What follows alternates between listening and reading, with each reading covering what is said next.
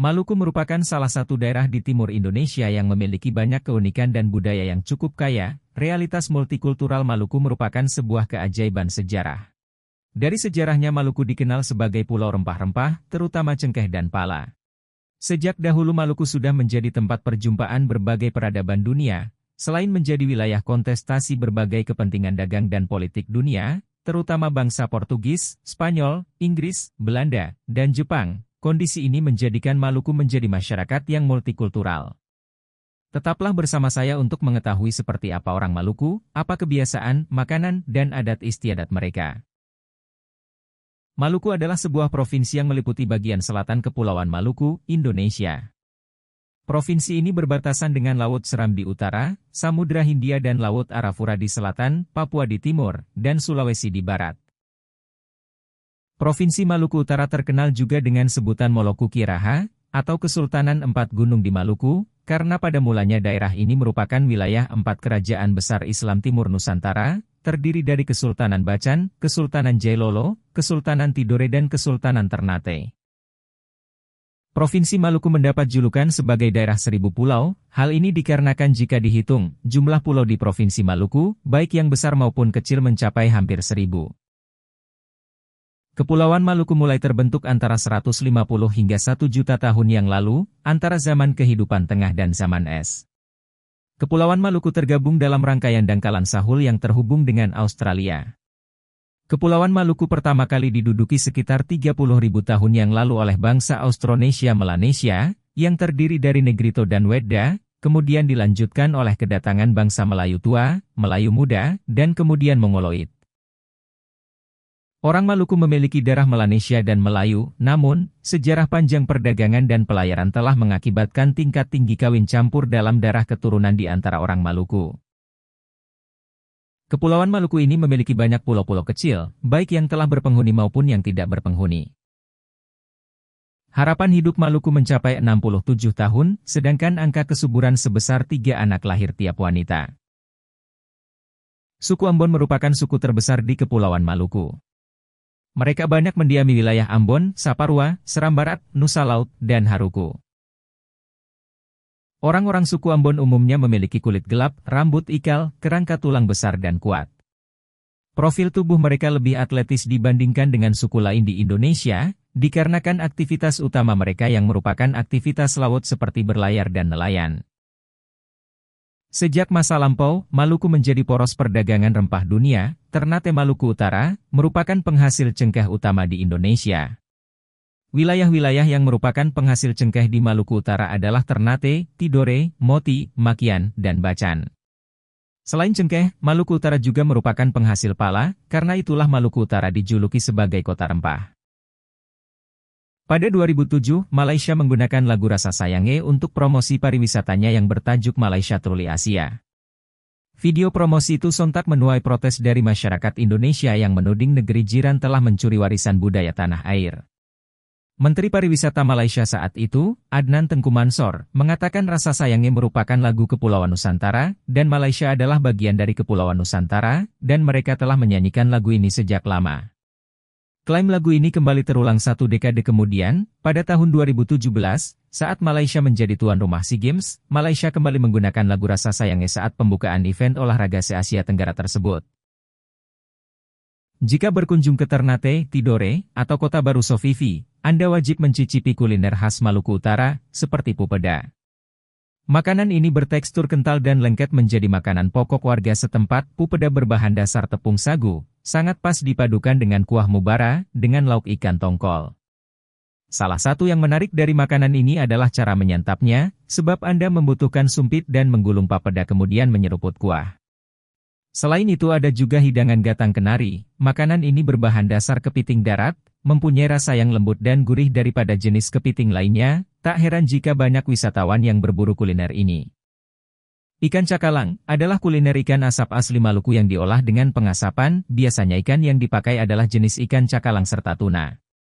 Banyak yang bilang, jika kedua ikan ini akan awet ketika diasapi, serta membuat tekstur yang khas, sambil ditemani dengan sambal colo-colo yang memiliki rasa yang sangat pedas. Hampir 80% penduduk Maluku bekerja di sektor pertanian, perikanan dan perekonomian informal. Pukul sapu adalah kebiasaan suku Maluku yang dilaksanakan dengan memukul sapu lidi dari pohon enau selepas hari Idul Fitri. Pukul sapu ini merupakan tradisi yang sering dilakukan penduduk desa Mamala. Kebiasaan ini dilakukan setelah satu minggu Idul Fitri oleh kaum pria, dan dilakukan dengan mengenakan celana pendek, ikat kepala, serta bertelanjang dada.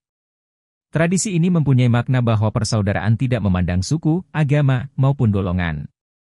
Rasa sakit dapat dirasakan bersama demi terwujudnya kehidupan yang harmonis antar sesama, istilah mereka yaitu sakit di kuku, rasa di daging. Malam badindang adalah kebiasaan orang Maluku, mereka menari dan bersenang-senang pada malam-malam tertentu. Kebiasaan ini ditujukan untuk membangun kebersamaan dalam kehidupan sosial bermasyarakat, hal ini juga yang menjadikan masyarakat Maluku memiliki solidaritas yang tinggi. Para peserta yang mengikuti Malam Badendang ini akan berdansa dan menari tarian Orlapei dan Katreji. Acara Malam Badendang ini dilakukan semalam suntuk, dan biasanya akan dimeriahkan juga oleh musik karaoke dan makanan khas Maluku. Orang Maluku kebanyakan dari mereka gemar makan ikan, bahkan bisa dibilang selalu ada ikan dalam setiap hidangannya. Selain tidak bisa makan tanpa ikan laut, orang Maluku juga memiliki porsi makan lebih banyak dibandingkan suku lainnya di Indonesia. Hal ini disebabkan kegiatan fisik yang menguras tenaga, bisa jadi membuat porsi makan menjadi lebih banyak. Orang Maluku suka membuat lelucon, mereka suka membuat orang lain tertawa, mereka akan mudah tertawa meskipun hal yang didengar atau dilihatnya kurang jenaka. Selera humor orang Maluku memang bagus dan pandai melontarkan kata-kata humor. Orang Maluku memiliki suara yang khas dengan suara nyaringnya, Ketika mendengarkan mereka berbincang, terdengar seperti berteriak, padahal nyaringnya suara orang Maluku ini adalah wajar, dan sering digunakan dalam berkomunikasi. Suara mereka pada dasarnya memiliki volume yang tinggi, dan terdengar seperti orang marah, namun, sebenarnya mereka tidak marah, hanya saja memang volume suaranya yang tinggi. Rasa kekeluargaan orang Maluku memang tinggi, mereka tidak memandang asal orang dalam hal sayang menyayangi. Meskipun berbeda daerah, mereka sangat mudah menyayangi orang lain mulai dari teman, saudara, sampai hubungan percintaan. Raut muka orang Maluku sering dianggap sangar, tetapi sebenarnya mereka murah senyum, mereka suka menyapa orang-orang yang berpapasan dengannya, meskipun belum dikenalnya. Keramahan dan ketulusannya itulah yang membuat orang Maluku dikenal dengan senyumnya yang khas. Kepandaian dalam memasak bagi orang Maluku dianggap sebagai keahlian istimewa. Memasak bagi mereka bukan sebatas tradisi, kepandaian memasak juga menjadi salah satu persyaratan lulus ujian untuk menjadi menantu ideal. Uniknya, calon mertua tidak segan untuk menantang adu keahlian memasak dengan calon menantu perempuannya. Baileo adalah rumah tradisional orang Maluku, salah satu wilayah di mana bangunan ini masih terpelihara dengan baik adalah di Kecamatan Saparwa Kabupaten Maluku Tengah. Rumah Baleo tidak difungsikan sebagai rumah tinggal, melainkan hanya digunakan pada pelaksanaan acara adat atau keagamaan. Sopi merupakan minuman sejenis arak yang dibuat dari koli atau aren, masyarakat setempat menyebut minuman ini sebagai minuman adat masyarakat Maluku Barat Daya. Tempat wisata di Ambon pertama yang wajib dikunjungi adalah Jembatan Merah Putih. Jembatan ini adalah penghubung antara lintas Poka dan Galala, dan menjadi pusat rekreasi bagi masyarakat lokal maupun luar kota, yang mengabadikan momen dengan latar belakang jembatan ini. Benteng Ferangi Ambon merupakan salah satu penyebab terbentuknya kota Ambon.